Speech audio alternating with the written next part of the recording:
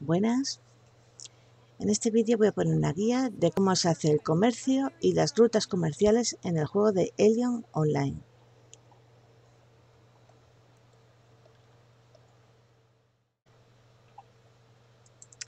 Para empezar tenemos que ir a nuestro hogar, que se consigue con la quest de historia. Una vez llegamos vamos a este panel que pone tablón de rutas comerciales y lo abrimos. Aquí nos encontramos un panel con un mapa. A la izquierda están todos los posibles puntos de trades. A la derecha se quedarán los trades que estemos haciendo, que en este momento no hay ninguno. Las mercancías disponibles que tendríamos que llevarlas en el inventario. Y aquí son paneles que sería por si queremos asignar un seguro por si en caso de que en uno de los trades eh, derriben la aeronave, recuperaremos parte de la mercancía. El contrato es diario y vale bastante caro, así que tenemos que asegurarlo de ponerlo para una cantidad de materiales muy elevada, no la que veis aquí tan chiquitita.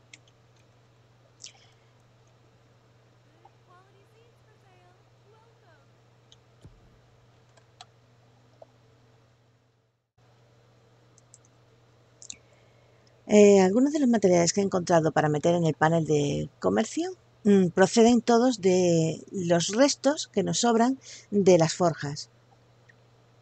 Vamos a verlos. Este es nuestro hogar y estos son nuestros talleres. Digamos que hemos construido barras de metal. Las que más nos piden estos materiales, si os fijáis, son las azules. Sería esta pero solo tenemos un porcentaje de un 10% porque no tenemos mucha skill. Entonces acumulamos mucha cantidad del material verde que realmente no lo podemos usar de momento en ninguna otra cosa y no he visto forma de gradearlo de color. A lo mejor sí, pero de momento no lo he encontrado.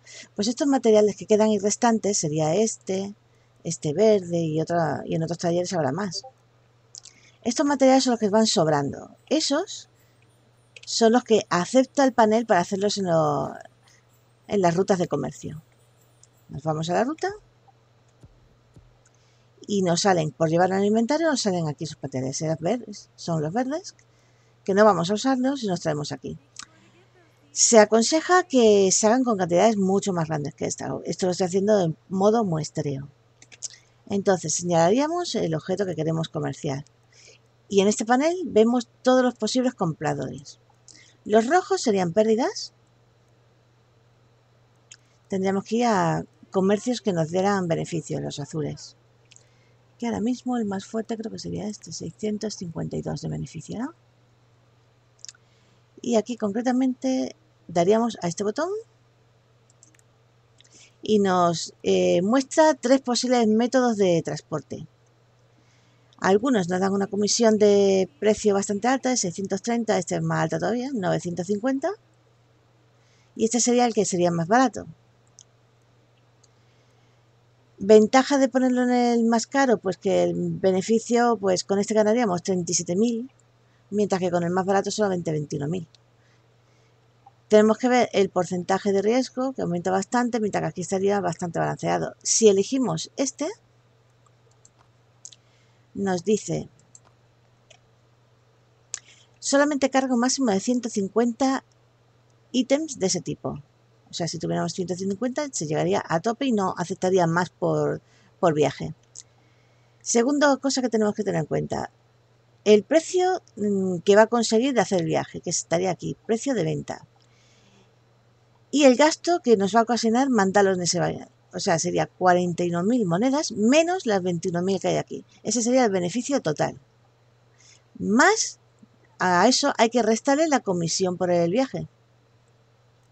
Con lo cual, si queremos enviar esto, 40.000 mm, menos 21.000 da una cantidad positiva. Nos interesa menos la comisión que nos va a cobrar, sí, con un riesgo del 45%. Todavía podríamos perder el cargamento en un 45%. Como estoy grabando el vídeo, pues lo voy a mandar, aceptaremos. Y empieza su viaje.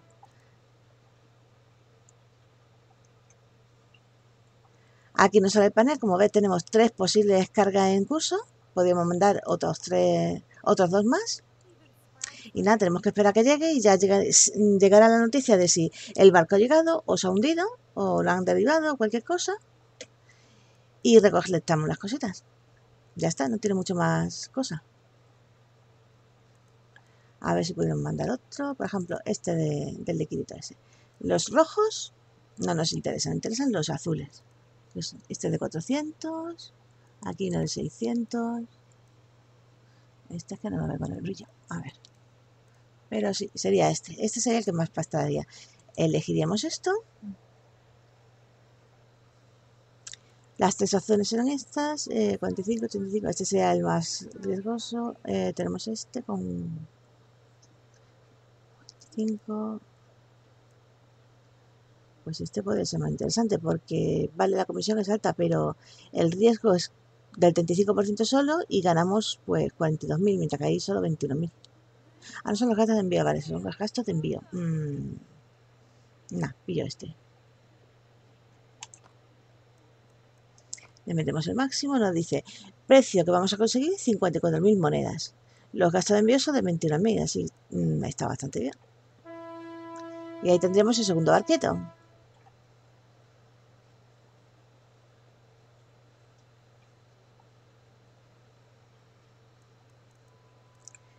No sé si se va a convenir mucho, pero vamos a probarlo.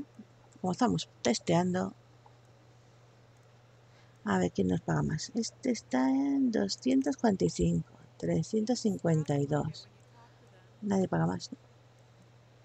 este sería el que más pagaría. Le daríamos aquí otra vez. Bien. Mm, vale, pues no me dejamos. Está. Pues tengo espacio para tres, ¿eh? Ah, no, lo tenemos bloqueado, pues no sé. Será por leve. Pues nada, pues así es como se va haciendo el comercio. Hay que esperar a que terminen las rutas.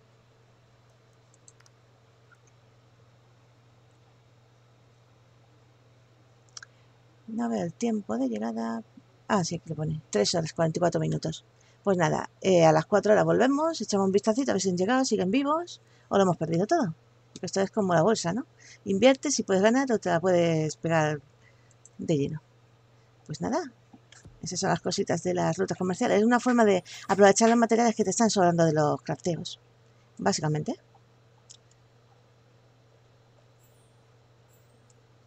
Pues nada, aquí nos quedamos. Bye bye.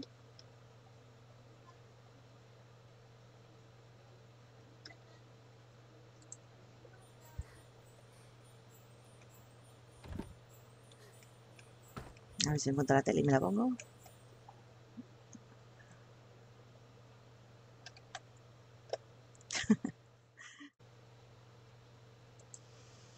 Vale, esta anotación la voy a añadir al final del vídeo para corregir un fallo que he cometido. Cuando se asignan eh, los materiales, aparecen precios en color rojo y precios en color azul, ¿vale?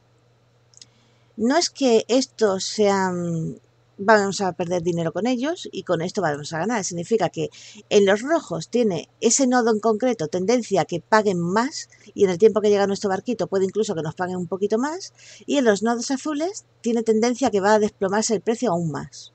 Simplemente esa es la referencia, con lo cual a la hora de asignarle un nodo de venta deberemos buscar primero el que nos pague más, que en este caso sería pues este, el 540, nos fijamos en la gráfica de la derecha, que nos dice que el precio más alto normal ha sido de 540, que justamente coincide con este nodo.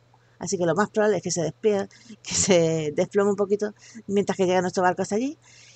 Y el precio más bajo sería de unos 180.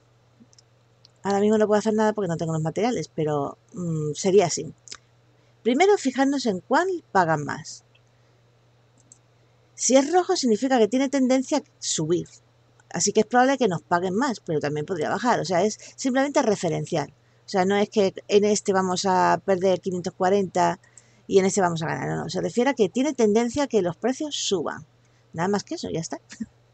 Pues nada, espero que os guste el vídeo y que os sirva para algo. Bye bye.